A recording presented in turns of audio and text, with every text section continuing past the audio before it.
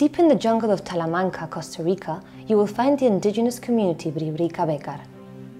Here, families have to travel more than one day to reach the nearest hospital.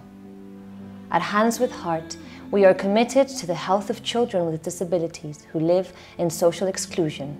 For this reason, we have decided to face the challenge of building and setting up a permanent clinic in the area to guarantee the continuity of the treatments, promoting their health and that of their families.